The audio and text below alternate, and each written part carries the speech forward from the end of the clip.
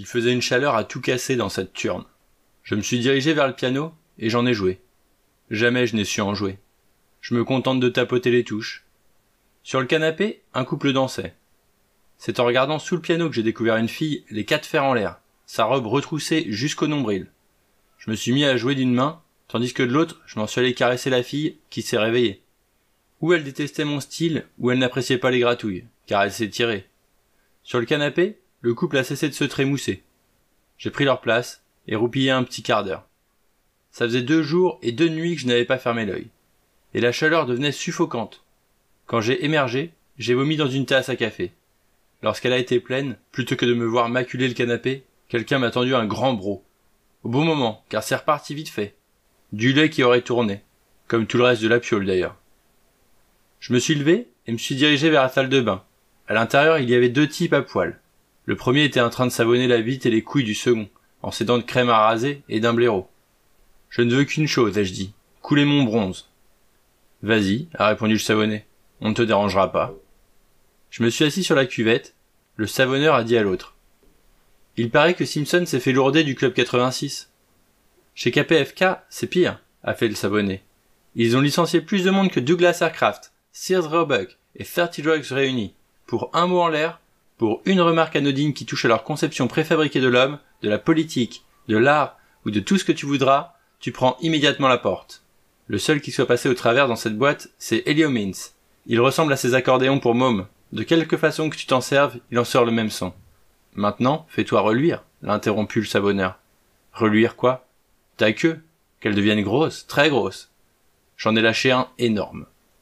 D'où Jésus, a dit le savonneur, qui ne savonnait plus rien, vu qu'il avait balancé son blaireau dans le lavabo. Quoi, d'où Jésus, a fait l'autre. T'as le gland comme un marteau. J'ai eu un accident, voilà tout. Qu'est-ce que je donnerais pour avoir ce genre d'accident? J'en ai lâché un second. À présent, mets le paquet. Le paquet sur quoi? Tords-la en arrière et insère-la entre tes cuisses. Comme ça? Super. Et ensuite? Ensuite, pèse de tout ton poids sur ton ventre. Fais-la glisser comme dans un mouvement de va-et-vient, mais serre bien les cuisses. Ça y est. Tu vois? Plus jamais tu n'auras besoin d'une femme. Oh Harry, ça n'a rien à voir avec une chatte. Arrête avec le baratin. Ne me prends pas pour un con. Ça demande juste un peu de pratique. Tu verras, tu verras. Je me suis torché, j'ai tiré la chasse et je suis sorti. Dans le frigo, j'ai pris une bière. Non, deux. Et je les toutes les deux ouvertes. Et j'ai commencé à boire. Je devais à vue de nez me trouver quelque part dans North Hollywood. Je me suis posé en face d'un type qui portait un casque de couleur rouge et une barbe d'un bon demi-mètre. Pendant les deux nuits, les enfêtes lui avaient donné du génie. Mais maintenant, il redescendait sur terre. Il ne dormait pas encore. Il planait dans l'interzone, entre la tristesse et le dégoût. Peut-être espérait-il un joint pour redémarrer. Mais les âmes charitables manquaient. Big Jack me suis-je soudain exclamé. Bukowski a répondu Big Jack. Tu me dois quarante dollars.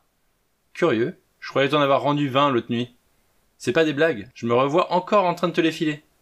Allons, tu ne revois rien, car tu étais rond, Bukowski. Tu voyais double, voilà la vérité. Big Jack déborde de préjugés contre les ivrognes. Maggie, sa petite amie, se tenait à ses côtés. La vérité, a-t-elle corrigé, c'est que tu as vraiment allongé un billet de vin.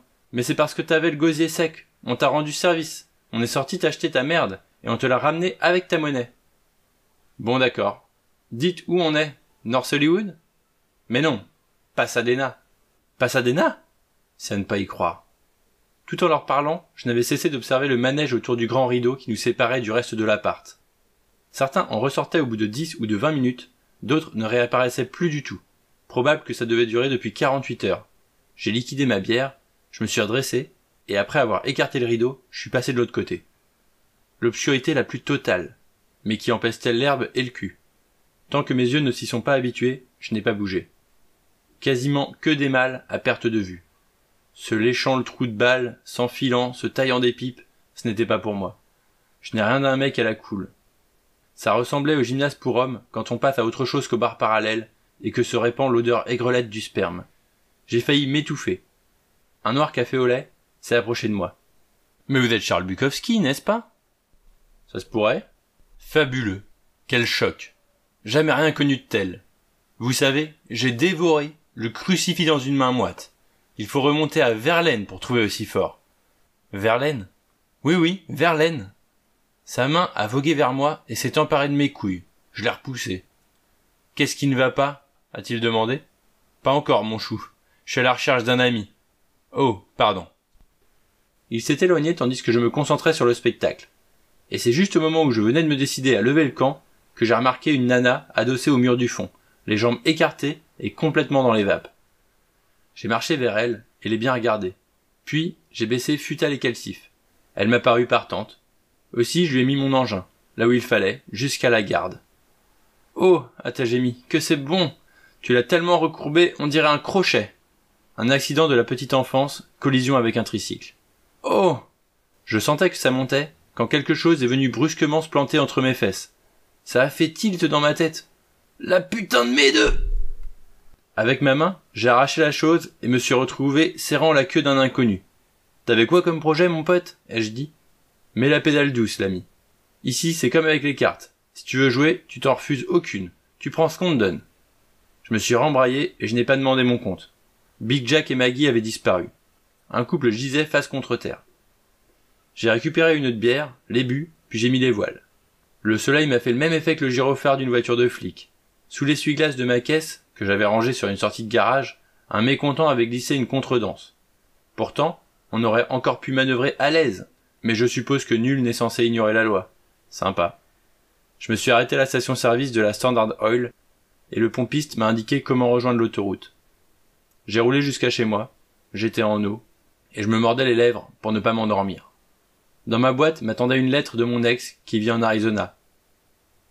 Je me doute que dans ta solitude il doit arriver de déprimer. La passerelle est ce qu'il te faut. Vas-y, à mon avis, tu aimeras les gens que tu y rencontreras, du moins certains d'entre eux. Sinon, ne manque pas la lecture de poèmes à l'église unitarienne. Je me suis fait couler un bain bien chaud, je me suis déshabillé, j'ai ouvert une bière, j'en ai lampé la moitié, puis après avoir posé le canne en équilibre sur le rebord de la baignoire, je suis entré dans le bain. Une fois dedans, j'ai pris le savon à barbe et le blaireau, et j'ai commencé à me tripoter le manche et l'œillet.